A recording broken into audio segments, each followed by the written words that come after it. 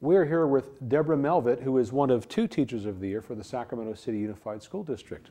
Thanks for joining us. Well, you're welcome. Thanks for having me. Well, tell us a little bit about where you teach and, and what you teach. I teach at Arthur A. Benjamin Health Professions High School, which is a small public high school for grades 9 through 12. We only have, now we have juniors. And I teach medical science. And the main idea of the school is to get kids who are interested in health and medicine out into the community to work on, on their career goals. Okay, so what all do you teach? What, what courses? I actually teach uh, medical science 10th grade, and they have to take a medical science class besides their regular science classes, and that's a mixture of anatomy and physiology, medical terminology, and career skills. And I also help, I'm also one of the workplace coordinators that help students go out and do job shadows at hospitals, field trips, hopefully internships, and community service. So you're able to teach students um, kind of career skills, but they're still in high school, so they get to kind of get a get a taste for the professions. Exactly. So they start out all wanting to usually be a veterinarian or a pediatrician, and then they learn about all the other careers because they get exposed to that. And we have a lot of people from the industry come into the school too and talk with them. So you build a relationship with, with the, the health communities Absolutely. as well. Absolutely. We have many partners with all the hospitals, BloodSource, other places. So tell me about what you do in your classroom. Uh, what do you do to inspire your students and what are some of the things that you teach them? Well, one of the things which is great about healthcare and teaching that is there's so many topics and ones they're interested in. And so, because a lot of it's very relevant. Um, I teach ones that focus on projects, mainly the ones lately have been alternative medicine, workplace injuries, veterinary medicine. And most kids can relate something about healthcare, whether it's from their families or them, their own selves. So usually they're interested, and we do a lot of debates. We again, do community service. Um, and then they do projects that they actually present to the community, or we have people from the healthcare world come in and, and grade them. So, what do you enjoy about teaching, especially in this specific area?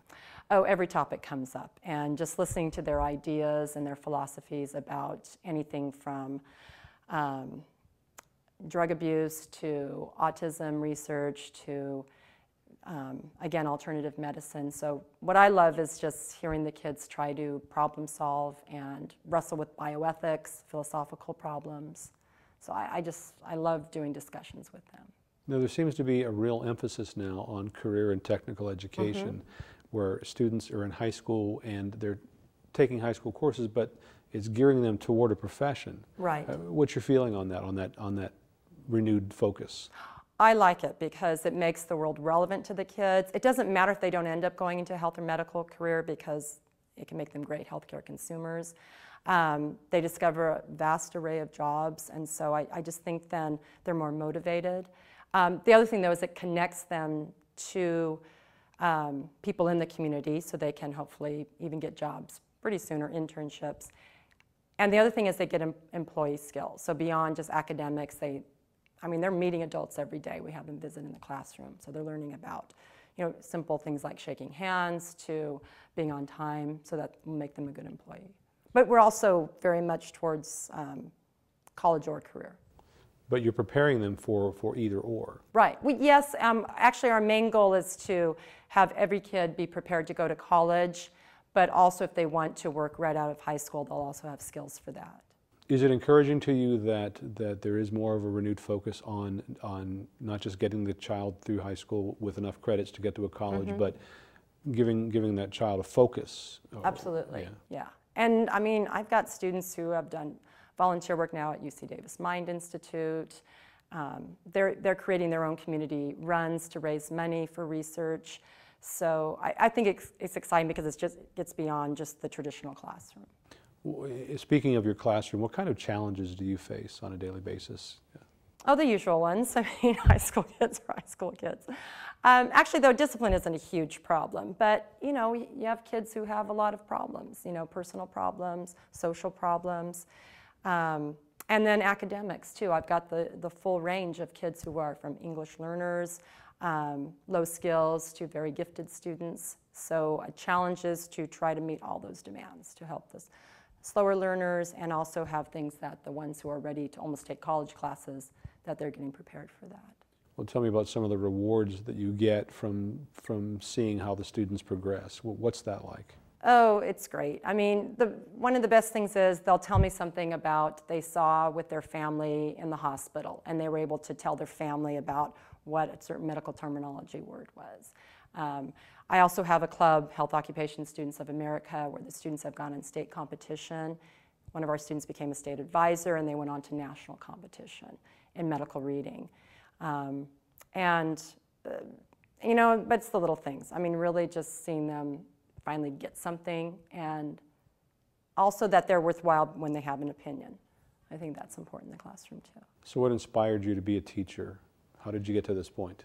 I wasn't one of the ones that wanted to when I was very young, but I, I liked um, health and medicine, especially women's health issue. My father's a physician, so I have a lot of uh, medical things in the family.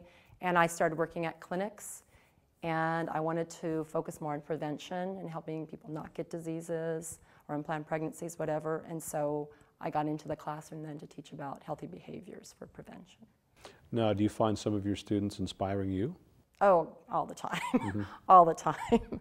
I mean, um, I mean, a, a, simple thing as two students who gave blood last year who were petrified of needles, and they wanted to do it, and they were shaking like a leaf, and I said they didn't have to, and they did it, and they were crying, but afterwards they felt tremendous. I mean, their bravery, they they try new things, they tough things out all the time, whether it's a physical illness they have themselves or things they do for their families. No, you, you teach students from kind of all walks of life. Mm-hmm. Are, are, how do you reach out to, and connect with those students are, who um, maybe need more inspiration than others? What, any special tricks, or how do you, how do you, what's your approach? No, it's, it's, there's no real special tricks. I think it's all about relationships. You know, it's just having them learn to trust you. Um, again, listening to them and seeing that, hearing about their world and their worldview, because it's not always my own. Um, having that mutual respect and, and trusting them to get out in the community to take them places. Sometimes they've never, you know, been on certain field trips. They've never gotten to go talk to a nurse or a doctor except when they're at the doctor's office. So a lot of it is, is believing in them, you know, and, and taking risks with them. And a lot of these students who go through the program um, really think that maybe medicine is for them. Some of them do, but they're learning. Some of them definitely want to be doctors, and some of them are learning about, you know, psychology, about allied health careers, so that they may not. Maybe they'll be a medical writer. Um, so definitely, they're learning a bunch of different ones, and some won't, but that's okay. But they're learning to be good healthcare consumers. Now, are there some teachers in your past uh, who have been pretty inspirational to you? And, and tell us about that. Sure. Um, um, the main ones who got me into, I would say, the health and medicine were mainly in college, but um, in high school, actually was my art teacher, and he was just a very kind person. And so I was somebody who got scared easily in class. He wasn't like that. Um, and so if I'm going to model after anybody, it's probably the teachers who mm, didn't jump down your throats and yell at you. so, um, but you hadn't always thought that when you were even when you were little that someday I'd be a teacher. You didn't. No, I thought it'd be a, a writer or a veterinarian. so, uh, no, I didn't. It was actually not until I got into learning about women's health and got into explaining things to my friends and to patients at my dad's office that I was much better at explaining things than putting a needle into somebody's arm, which I have done before, but you don't want me to do that, really. No, I think we'll wait for that. yeah. So let me ask you this finally. What would you say to those folks out there who are considering teaching as a profession, who maybe aren't quite sure, but you know, what would you say to kind of inspire them to consider it?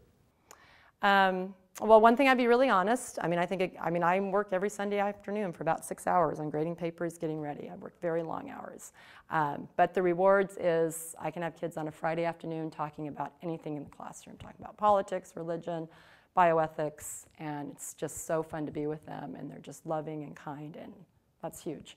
I mean, who gets to always do that? Let's learn from young people. So if you're willing to be a hard worker, but you get great rewards being around the students. Okay, well, thank you for your time. We've been Thank speaking you. with uh, Deborah Meltvedt, who is one of two Teachers of the Year for 2008 for the Sacramento City Unified School District.